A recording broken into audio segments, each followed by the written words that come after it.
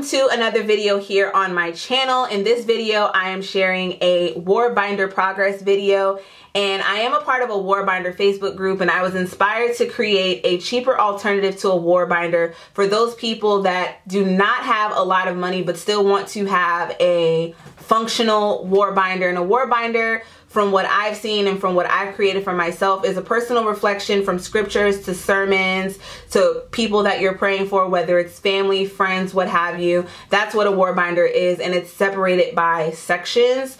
So the war binder that I use, it's not really a war binder, it's a faith planner. It's this one from Horacio Printing. I do have videos on this, so be sure to check that out. I'll have them linked below, but for a dollar, I thought that I would share with you guys the concept that I came up with. So let's get started. So getting into this war binder, the basics of what I used were the photo album from Dollar Tree along with scrapbook paper. And I also pulled in some journaling cards here and some other little die cuts that I had, which I created some flips with some basic flips. A lot of what I did is very, very basic. It's nothing fancy to it but hopefully going through you guys will get the concept. So opening it up, I have this photo overlay here. I got this in a paper pad. It was a smaller paper pad from Michaels, so I just put that in this cover. Then this was actually a notepad that I had received. I wasn't using it, so I just took the cover. I love anything that's floral and striped, so you'll see that quite a bit through here. A lot of the same prints, then this first section is the reference section. Now I didn't get into tabs yet. I'll do that in my next video. But this is the reference section. So there's Old Testament and New Testament. So here's how it turned out. I am no artist, but I will be coloring this in and writing in all of the books. And these labels here are actually um, binder labels from Dollar Tree. They come on a sheet like this and you have the sheet to slide it in on this side. Now these are very thin and they peel up just fine from this page. So if you would like to move around, move it around, there's no issue there. Then coming in here, this is one of the flips that I made and this one I am going to be fixing, but I'm going to put a label here, but this is going to be for tithing if you want to put your tithes inside of here. And then I'm going to have a scripture here for that. And then there's space on the back for personal reflection. Then this is just a divider for the next section. Here's prayer requests, a scripture for prayer, and then you have space here to write your own. So this is actually a card from Target. Then when you flip it open, there's space here, space here, and then you can write something here on the back if you choose. Then this is another one. These are just prayers, well, scriptures for different things. So there's scripture for loneliness, scripture to overcome failure, scripture for anxiety. Then one of my favorite scriptures, which is Hebrews 10, ch chapter 10, verses 35 to 36. And then there's space for you to fill in your own here. So this is a notebook cover that I got from Staples that I just taped to this piece of scrapbook paper here. And I had another piece. So I just did some layering and then there's space on the back there for you to write in whatever it is that you would like. Now, I will say that when layering, especially if the paper is a little bit thicker, be careful when putting it in and out of here because you don't want it to snag. Now, if you have it from the top, I doubt you'll run into that issue. Now, I am going to go back and fill in two more scriptures here.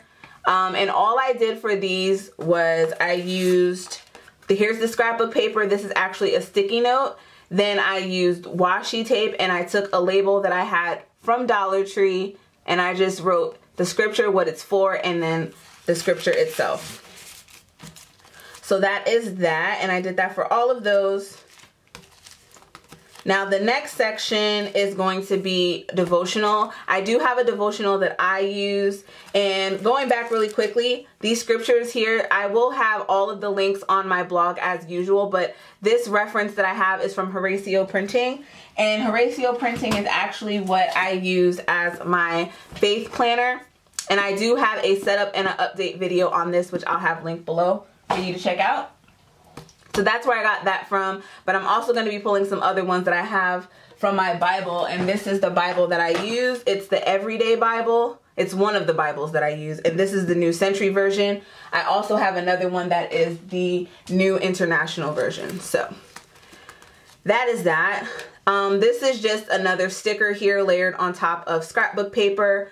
I do have a devotional and with this piece of scrapbook paper, there's space to write in the scripture and the topic for that devotional. And this is where I decided to make those little flips for you to write in the scripture and then you can write your own personal reflection. So there's just quite a bit of those. So here's one that's actually double-sided.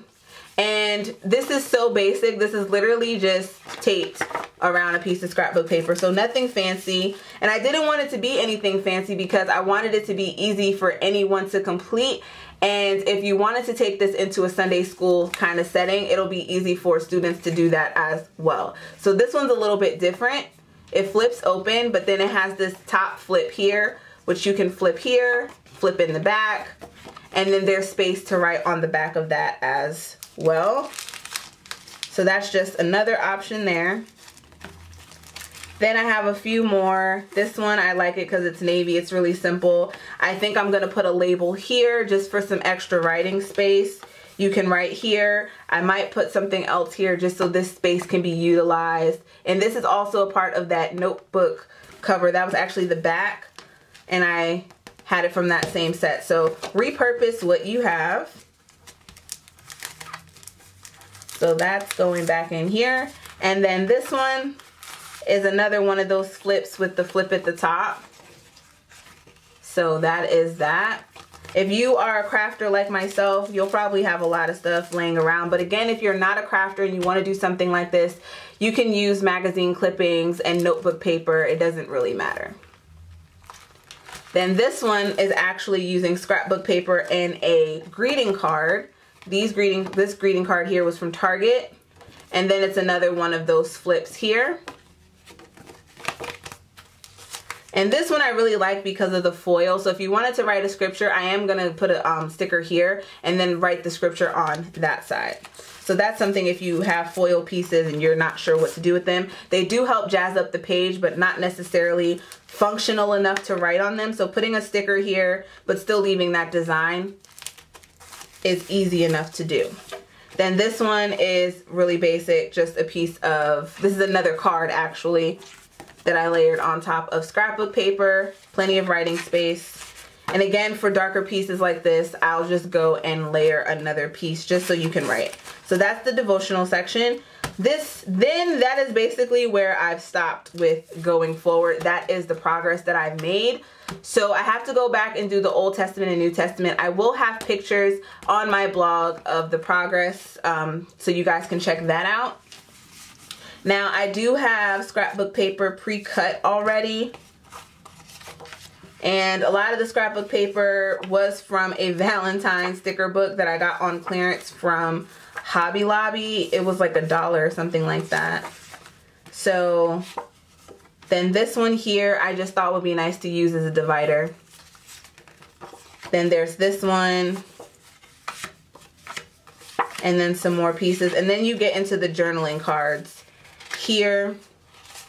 And there's plenty of space to write on these. So I might turn the, these into flips or something like that. But I don't know what I want the next section to be. So that is that. So that is it for this war binder progress video using this $1 photo album from Dollar Tree. Let me know what you guys think. Even though some people may not find this as functional, it's a cheaper alternative and it's really, it you know, helps you get in touch with your creative side and you, the sky is really the limit with what you want to add to this and whatnot. And also using the sticky notes, you can peel them up just as easy and you can put a scripture underneath you can write underneath this if you choose to. So there's space for you to continue and add things, another scripture or two when it relates to prayer or whatever the topic is that you're using. So I will have links to resources that I get my information from to fill this war binder on the blog. Also,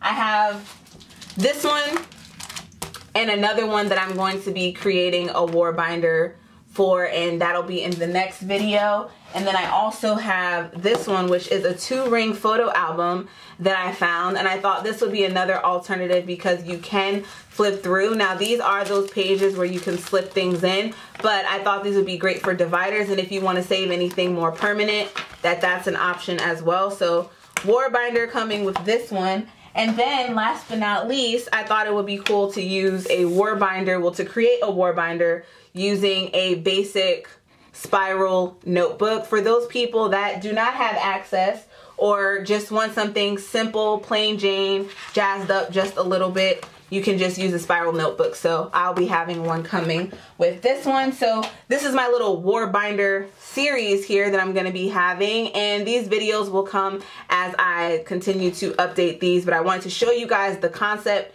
that I had in mind and hopefully you guys will let me know your suggestions. Alright guys, so that is it for this video. Again, be sure to check out the blog chaoticcritic.com which I will have linked below which will have resources to not only items that I use that you can get in store but also a list of all of the resources that I use for the content that is inside. Also, be sure to follow me on Instagram at Chaotic Critic. If you have any suggestions going forward on what I could add to this, let me know in the comment section and I'll see you guys in my next video. Bye!